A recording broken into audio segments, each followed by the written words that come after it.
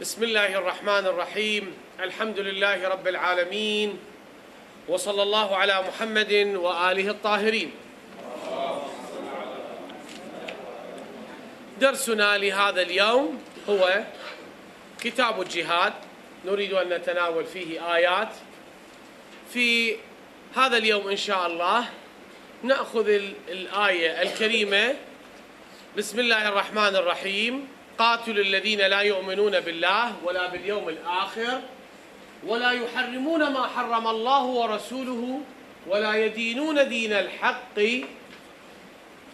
من الذين أوتوا الكتاب حتى يعطوا الجزية عن يد وهم صاغرون. هذه الآية هي الآية 29 من سورة التوبة أو سورة براءة. الآية 29 ولكن نقدم مقدمة عن الجهاد عن فريضة الجهاد في الشريعة الإسلامية. نأخذ مثالا من الحياة من حياة الإنسان وبالذات من حياة الفلاحين. الفلاح عندما يزرع الأرض أحيانا يواجه مشكلة. بل مشاكل إحدى المشاكل التي يواجهها الفلاح أن تنمو بعض الأعشاب الضارة مع زرعه. أرض صالحة للزراعة يبذرها بالقمح لنفرض. يبذرها بحبوب القمح وينتظر أن يخرج لكن يفاجئ أن تظهر الأعشاب مع القمح. ما الذي يصنعه الفلاح؟ أجيبوا أنتم رجاء. ما الذي يصنع الفلاح بهذه الأعشاب الضارة التي قد تلتف على زرعه وتهلك الزرع؟ ها؟ يقتلعها الحل الناجع أن يقتل هذه الأعشاب. إما بأن يرمي عليها شيء من المبيدات أو يقتلعها هذا هو العلاج الناجع.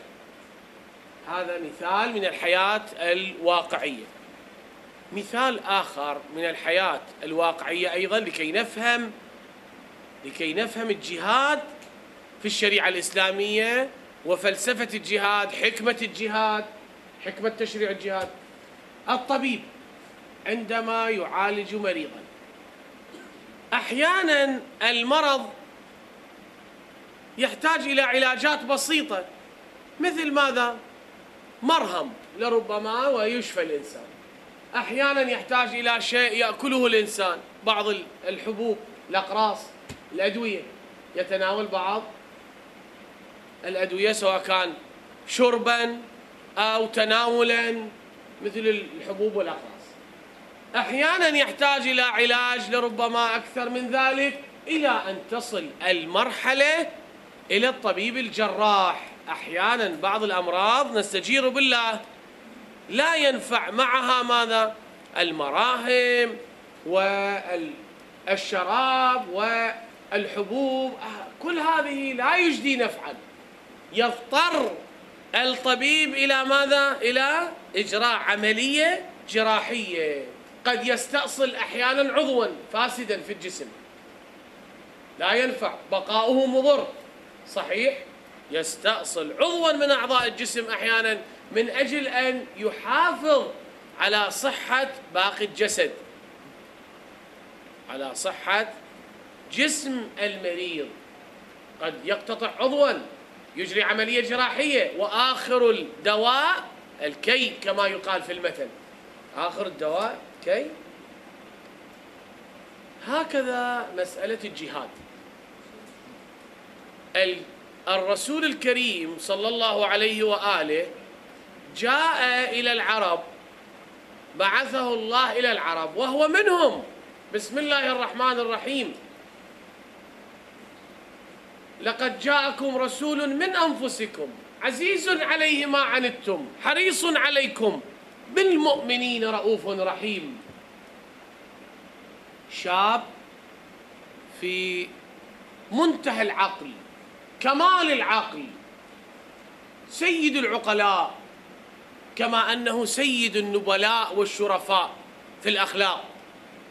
وصفه الله في كتابه فقال وإنك لعلى خلق عظيم. شاب عاقل مؤدب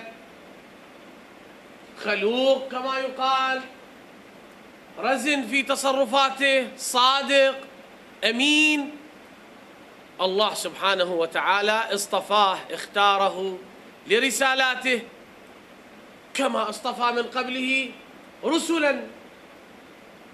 اصطفاه رب العالمين. خصه بالنبوة وخصه بالرسالة بعثه إلى العرب. في ذلك اليوم العرب كانوا ماذا؟ في شر دار وفي شر دين. شر دار كانت الجزيرة الحجاز وما والاها أراضي قليلة الخيرات. قليلة الخيرات. قليلة المياه. في ذلك اليوم. كما أنهم كانوا على شر دين يعبدون الأصنام. يعبدون أصنام يعبدون أحجار يقولون تضر وتنفع ويتعاملون بالربا. ويتعاطون الخمور والزنا و و إلى آخره من الموبقات. مجتمع يعيش الظلمات حقيقة. مجتمع يعيش حالة من التردي. فلما جاءهم منهم من آمن ومنهم من كفر. منهم من آمن ومنهم من كفر. بعد ذلك الله كلفه بأن أيضا يبلغ أهل الكتاب بالرسالة لأن الله سبحانه وتعالى بعثه إلى إلى كل الناس. كل الناس رسول الله لكل الناس ولآخر الدنيا لأنه هو خاتم النبيين وسيد المرسلين. فلما ابتعثه إلى سائر الناس ممن شملهم بالرسالة أهل الكتاب. أهل الكتاب.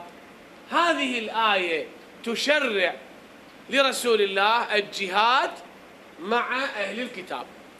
نتناول هذا اليوم هذا النص بالتحليل والدراسة. قاتلوا الذين لا يؤمنون بالله ولا باليوم الآخر. أول صفة أنهم لا يؤمنون بالله. السؤال هنا مطروح إلى حضراتكم. أهل الكتاب يؤمنون بالله أم لا؟ اذا كيف يقول النص قاتلوا الذين لا يؤمنون بالله إذا كان أهل الكتاب يؤمنون بالله؟ اذا في النص إشارة خفية لربما غير جلية. نعم. أو أو لا يؤمنون بالله حق إيمانه. توحيدهم مخدوش. يوجد في توحيده في توحيدهم خدش مخدوش هذا التوحيد لأن ترى أنت عندك زجاج صافي وترى عندك شنو زجاج مخدوش؟ هذا ما يفيد. فهو صحيح كله زجاج لكن زجاج عن زجاج يختلف. سلعة عن سلعة تختلف. أكو سلعة هي نفس السلعة لكن إذا كانت فاسدة إذا كانت يعني فهو في الظاهر لديهم توحيد ولكن في الحقيقة أهل الكتاب غير موحدين. الذي يقول عيسى ابن مريم ابن الله هذا موحد حقيقة لم يلد ولم يولد. هذا التوحيد الحقيقي. أما أنه عندما يقول عيسى ابن مريم ابن الله ويبدأ يرتب على ذلك آثار عملية. شوف عندما يبدأ بالبسملة شو يقول النصراني؟ بسم الله والابن وروح القدس. ثالوث. يثلثون. يعتبرون الآلهة ثلاثة. فتوحيدهم مخدوش اليهود أيضا يقولون عزير ابن الله. اليهود يقولون الله عز وجل خلق الخلق ثم تركه وشأنه. وقالت اليهود يد الله مغلولة غلت أيديهم ولعنوا بما قالوا. شنو يعني يد الله مغلولة؟ يقولون الكون مثل الساعة اللي صنعها صانعها. صنعها وتركها بعد ما له علاقة بيها. الله الشكل علاقته بالكون. بالكائنات اللي خلقها. خلقها وتركها هي تدبر نفسها. أم بعث أنبياء ورسل بالمنهاج بالشرائع. صحيح ولا مو صحيح؟ ما يقولون لا الله سبحانه وتعالى خلقه وتركه يلا ما له علاقة بعد بي. نقول شنو؟ ما له علاقة. قالت اليهود يد الله مغلولة عقائدهم فاسدة. ليس كل إنسان يحمل التوحيد الصافي. بعد قاتل الذين لا يؤمنون بالله ولا باليوم الآخر. أيضا ليس لديهم إيمان حقيقي باليوم الآخر بيوم القيامة. لا اليهود ولا النصارى. لأن الإيمان الحقيقي بالآخرة ينبغي أن يترتب عليه آثار عملية في الحياة الدنيا. الإنسان اللي يخاف الله عز وجل ويخاف يوم الحساب ما يتصرف هذا التصرف اللي قاعد يصرفوه الآن هم. الرسول قاعد يطرح نفسه بأنه هو خاتم النبيين وسيد المرسلين وأنه مبشر به في كتبهم ويدعوهم إلى الحجاج ويقيم المعجزات لكن هم ماذا يعرضون؟ يعرضون صفحا ويكفرون. هذا مو إنسان يخاف من الله يخاف يوم القيامة. هذا الإنسان ما يآمن بالله ولا يآمن بيوم القيامة. ولا يحرمون ما حرم الله ورسوله. يستحلون لحم الخنزير يستحلون الخمور يستحلون كذا يست... كله حلال عندهم. شلون دين هذا؟ هذا دين الأنبياء والرسل؟ أكو دين من من أديان الأنبياء والرسل المتقدمين يستحلون شرب الخمر يستحلون أكل الخنزير يستحلون كذا إلى آخره من هذه الذنوب ولا يحرمون ما حرم الله ورسوله ولا يدينون دين الحق. دين الحق هو دين إبراهيم الخليل والوارث الأبدي لإبراهيم الخليل هو محمد صلى الله عليه وآله. وبذلك جاءت الأنبياء والرسل هو إبراهيم كان يبشر به. موسى كان يبشر به. وذكره الله عز وجل في توراة في توراة موسى في التوراة التي أنزلت على موسى. عيسى ابن مريم كان يبشر به. ومبشرا برسول يأتي من بعدي اسمه أحمد. هناك يسمى في الإنجيل كما يقال البارقليط أو الفارقليط كان يبشر به عيسى ابن مريم. ولكن كانوا يخفون هذه البشارات أو هذه البشائر. لا يدينون دين الحق. يعرفون أن الوارث الأبدي للأنبياء والمرسلين هو محمد صلى الله عليه وآله. ابن إسماعيل الذبيح. لأن كما تعلمون لإبراهيم أبو الأنبياء له ولدان. الولد الكبير إسماعيل. ذبيح الله يسمى الذي رضي بالذبح. سلم لله عز وجل تسليما. وعظمة الدين تكمن في التسليم. بسم الله الرحمن الرحيم. يا بني إني أرى في المنام أني أذبحك. قال له إبراهيم خليل. قال يا أبت افعل ما تؤمر. ستجدني إن شاء الله من الصابرين. فسلم فسمي ذبيح الله الولد الأكبر لإبراهيم. والولد الأصغر إسحاق. شاء الله شاء الله أن يجعل من ذرية إسحاق النبي إسحاق أنبياء. كثر أنبياء كثر. وأن تعجل لهم النبوة والرسالة. ويدخر الله يدخر الله لعالم الآخرين يدخر سيد المرسلين تاج المرسلين خاتم النبيين. من تكون شريعته هو الشريعة الأبدية. وهذا كان واضح على ألسن الأنبياء والرسل من زمن إبراهيم الخليل إلى عيسى ابن مريم. كل الأنبياء كانت تبشر. والله عز وجل يقول في كتابه في القرآن الكريم أيضا يقول يعرفونه كما يعرفون أبناءهم. يعرفوه مثل واحد ما يعرف ابنه؟ كل واحد يعرف ابنه. يعرفونه اليهود والنصارى وكانوا يكفرون. ولا يدينون دين الحق. فالله شرع لنبيه في هذه الآية الكريمة قتال أهل الكتاب من اليهود والنصارى. من هم أهل الكتاب؟ اليهود والنصارى. بهذه الصفات لا يوجد عندهم توحيد خالص ولا يوجد عندهم مخافة الله ولا يحرمون ما حرم الله من الخمور وغيرها ولا يدينون دين الحق. ودين الحق هو يقتضي الإيمان بخاتم النبيين وسيد المرسلين الذي أظهر المعاجز ويكفيك بالقرآن معجزة. وأي معجزة؟ صحيح؟ معجزة وأي معجزة. لكن لم لم يقبلوا.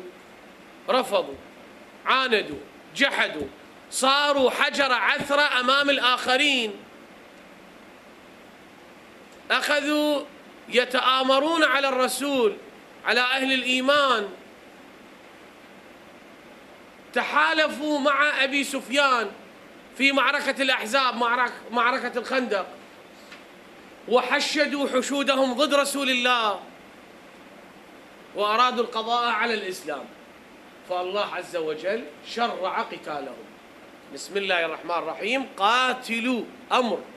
قاتلوا الذين لا يؤمنون بالله ولا باليوم الآخر. ولا يحرمون ما حرم الله ورسوله ولا يدينون دين الحق من الذين أوتوا الكتاب. يعني من اليهود والنصارى. هذه من هنا نقف. وقفة مهمة. من حرف جر. من حروف الجر. أو حرف خفض. من حروف الخفض. أو حرف من حروف الإضافة. أسماء مختلفة مصطلحات مختلفة عند النحاة يسمون حروف حروف الجار أو حروف الخفض أو حروف الإضافة. ما بعدها يكون مجرورا. هذه هي من القضية الأولى. هي لحروف الجر لحروف الجر معاني. بل أكثر من هذا. أكثر من هذا. راح نترقى بعد لحروف الجر معاني.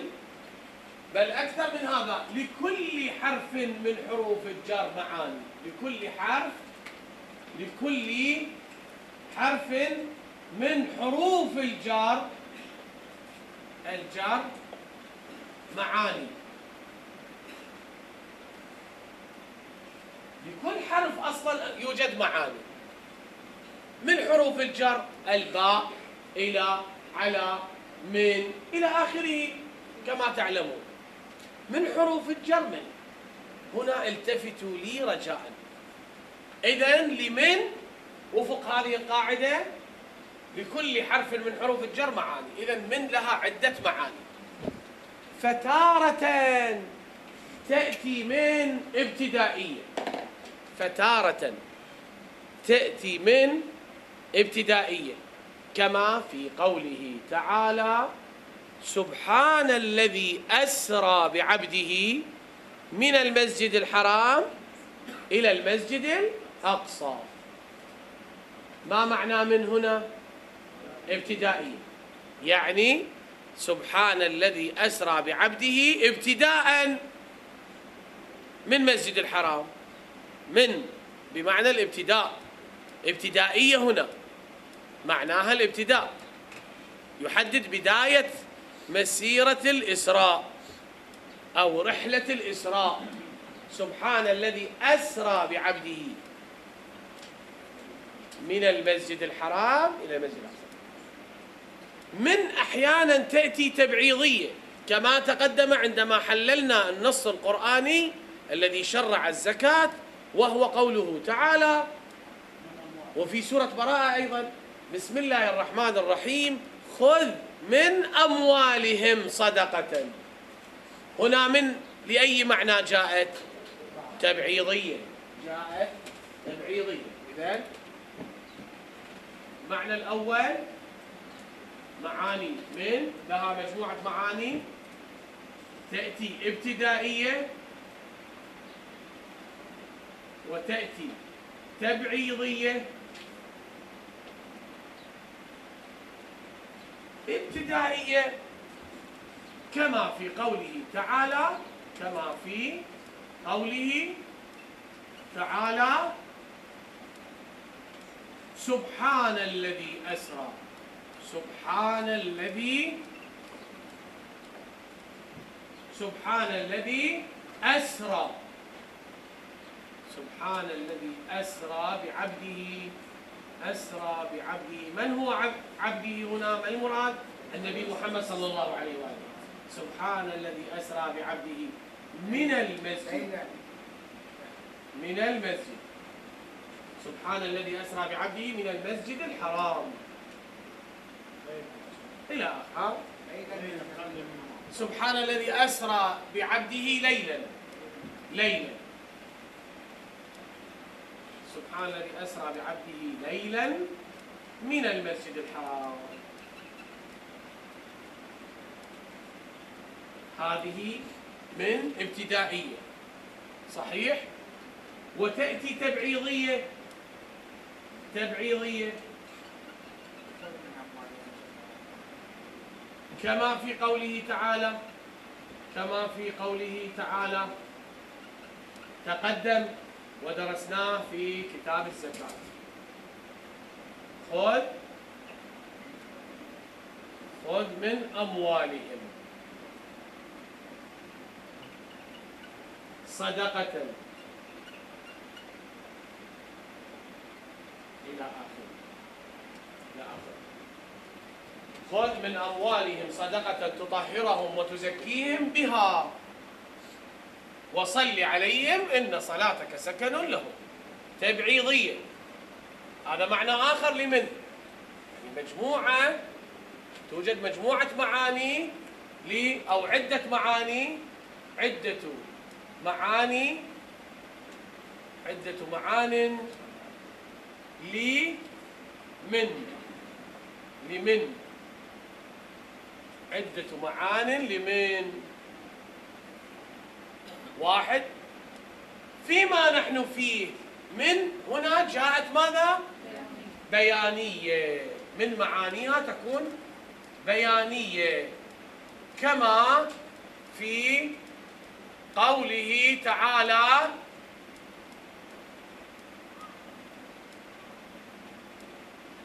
وحلوا أساور من فضة. يبين أي نوع من الأساور. وحلوا أساور من فضة. وحلوا في سورة الدهر سورة الإنسان. وحلوا أساور من فضة من فضة إلى آخر سورة الدهر. وحلوا أساور من فضة. يبين جنس الأساور. ما هو جنس الأساور؟ هل هي من الذهب؟ هل هي من معدن آخر أو من فضة؟ بين. بين.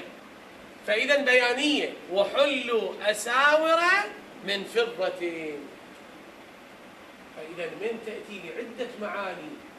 ينبغي لمحلل النص القرآني وكل النصوص الأدبية.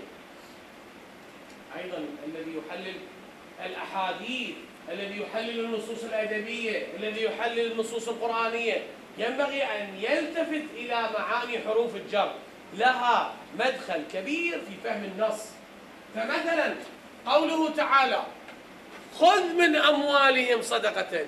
ماذا يعني؟ أنه يأخذ نسبة أو حصة من الأموال تبعيضية. كما أنه في آية الوضوء تقدم قلنا للباء وهو أيضا حرف جر له عدة معاني. وامسحوا برؤوسكم.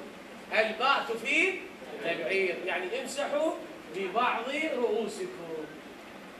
له مدخلية أم لا؟ فهم حروف الجار ومعانيها له مدخلية كبيرة. فمن هنا ليست تبعيضية. لو كانت من تبعيضية فمعنى قوله تعالى يعني قاتل بعض أهل الكتاب. قاتل بعض لكن إذا كانت من بيانية كما في قوله تعالى وحلوا أساور من فضة. يعني الله شرع له قتال كل أهل الكتاب من اليهود والناصرة آه، والنصارى ولربما آه، آه، يلحق بهم بعض الفقهاء ألحق بهم الصابئة والمجوس أيضا. بحث عند فقهاء المسلمين يبحثون أنه هل الصابئة أيضا من أهل الكتاب هل المجوس من أهل الكتاب بعض علماء المسلمين ألحق الصابئة وبعضهم ألحق المجوس أيضا. فإذا هذه الآية تشرع تشرع الجهاد والقتال وقلنا هو عملية استئصال لبؤر مفسدة في الأرض. تفضل. هو وضحنا هذا ليس لديهم توحيد حقيقي وليس لديهم مخافة لله و, و, و, و مراقبة حقيقية. لا الله شرع. جزء من عندهم مو كلهم ما يؤمنون أعطاهم خيارات. هم لو كانوا صحيح يؤمنون بالله لو كانوا صحيح. ليش ما قال الذين لا يؤمنون؟ ليش ما قال الذين؟ الذين لا يؤمنون. هو هذا قاتلوا الذين قاتلوا الذين لا يؤمنون بالله ولا باليوم الآخر ولا يحرمون ما حرم الله ورسوله ولا يدينون دين الحق. يأتي سؤال يأتي سؤال عند مستمع النص من هؤلاء يا إلهي؟ من هؤلاء؟ يقول من الذين أوتوا الكتاب. من هؤلاء؟ من؟ من الذين أوتوا الكتاب. مثل كما في قوله تعالى وحلوا أساورة لو كان يسكت وحلوا أساورة يسأل السائل يسمع عندما يستمع المستمع بدقة يقول حلوا أساورة يا رب من أي أساور تحليهم؟ من أي أساور؟ يأتي الجواب من فضة فمن بيانية. هذا الذي نريد أن نؤكد عليه أن من لها عدة معاني. فالسياق يحدد ذلك. من السياق ينبغي لقارئ النص أن يحدد أن يعرف ما الذي يراد من من.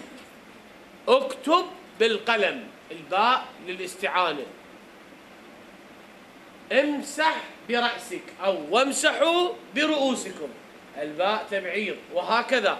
يعني أنت ينبغي أن تفهم النص بدقة. تحدد معنى حرف الجر. تحدد من خلال السياق.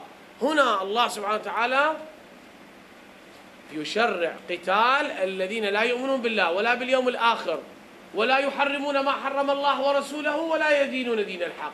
من هؤلاء؟ السؤال يأتي يقول أهل الكتاب.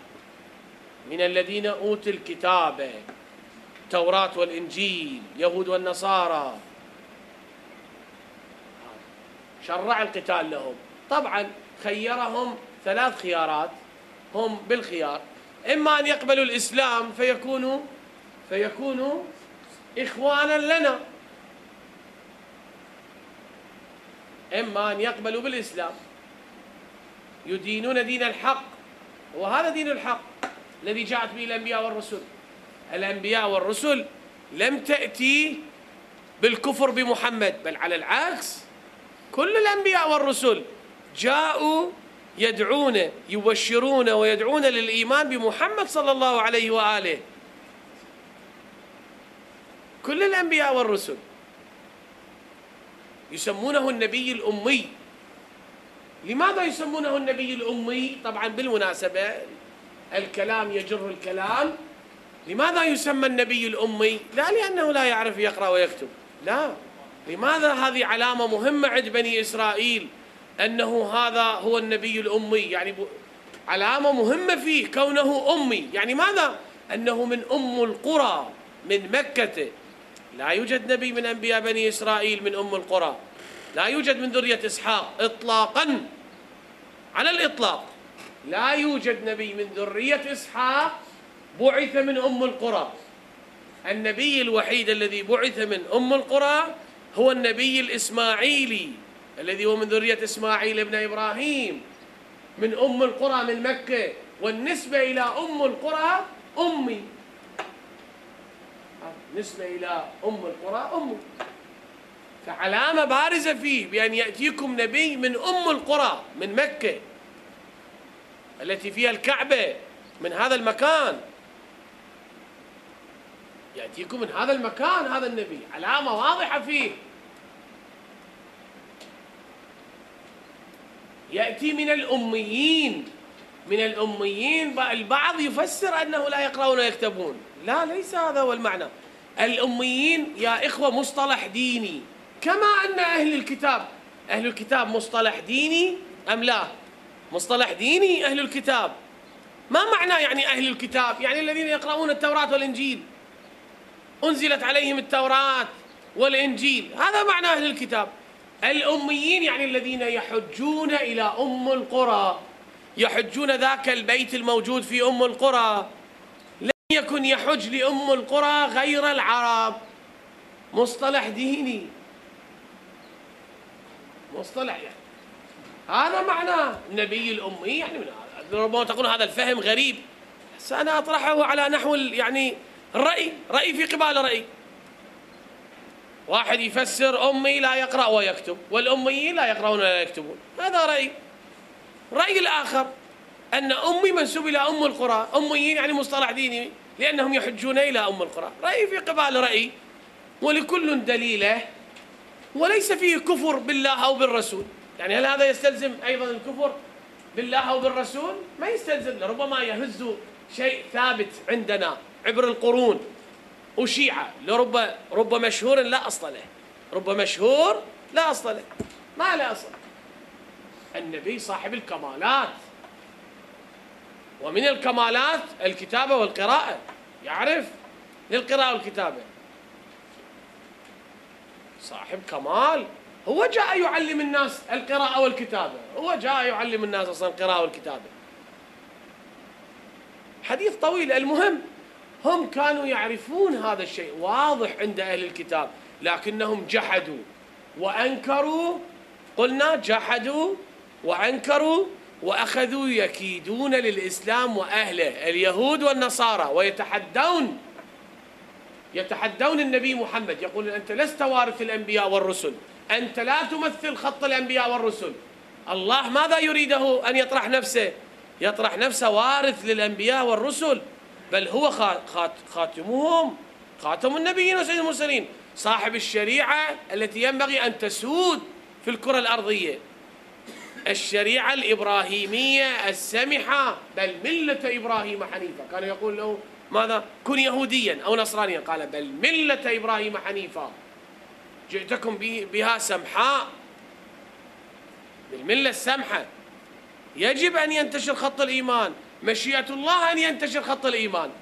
البشر كالجسد الواحد. قلنا الجسد قد يمرض فيه بعض الأعضاء. تمرض. صحيح؟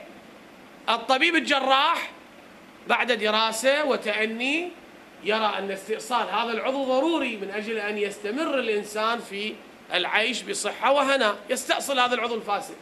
هاي قضية الجهاد. الله رأى أن اليهود والنصارى ينبغي أن يسن لهم أيضا أحكام شرعية تتعلق بهم. خيرهم بين ثلاث. نكمل النص. حتى يعطوا الجزية عن يد وهم صاغرون. إما أن يسلموا هذا حل. يؤمنوا بالبشارات الموجودة عندهم وهي واضحة جدا ومنطبقة على النبي صلى الله عليه وآله.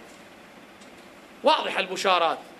لا تنطبق على على غير محمد. وألفت أنظاركم. يا إخوتي ألفت أنظاركم إلى قضية مهمة. اذكروا لي رجلا اذكروا لي رجلا واحدا من ذرية إسماعيل الذبيح ادعى النبوة والرسالة وجاء بكتاب غير محمد صلى الله عليه وآله. اذكروا لي رجلا. لا يوجد. النبي اليتيم. يعني ماذا؟ النبي الرسول اليتيم يعني الوحيد. اليتيم اليتيمة هي الدرة الفريدة التي لا نظير لها. لا يوجد رجل. لماذا لم يدعي رجلا من ذرية إسماعيل؟ هل هل أن ذرية إسماعيل تخلو من العظماء؟ كم من عظيم برز من ذرية إسماعيل؟ لكن لم يدعي. لم يدعي نبوة ولا رسالة ولم يأتي بكتاب. يتلى في الليل والنهار. ألا ألا يكون هذا مدعاة للتفكير في صدق نبوة محمد صلى الله عليه أليس هذا دليلا واضحا وبارزا؟ في حين من ذرية إسحاق كم رجل دعا ادعى النبوة وهو صادق من ذرية إسحاق؟ الأخ الأصغر لإسماعيل. كم من نبي؟ يعقوب قال أنا نبي يوسف قال أنا نبي وإلى أن نصل إلى موسى وهارون إلى أن نصل إلى داود وسليمان. وتستمر سلسلة من الأنبياء العظام من ذرية إسحاق آخرهم عيسى بن مريم من الأم. ينسب إلى أيضا إسحاق من طرف الأم لأن لا أب له شاء الله لن. لكن لا يوجد رجل. لذلك علامة قلت لكم واضحة كان يعرفونه القرآن ينص يعرفونه كما يعرفون أبنائهم فكانوا شكلوا حجر عثرة أمام طريق الإيمان. فشرع الله فيهم إما أن يقبلوا الإسلام وإما أن يقاتلوا وإما أن يدفعوا الجزية خيار ثالث. خيار ثالث لهم أيضا مفتوح هو أن يدخلوا يدخلوا من ضمن المجتمع الإسلامي لكن بشرط أن يدفعوا ضريبة. ما معنى جزية؟ حتى يعطوا الجزية الجزية ضريبة مالية. تفرض على الرؤوس تفرض على الرؤوس لا على الأراضي ولا على الأملاك. لنفرض اليهودي أو النصراني يملك في المجتمع المسلم يملك أراضي يملك فنادق. لا ليس لنا دخل بذلك.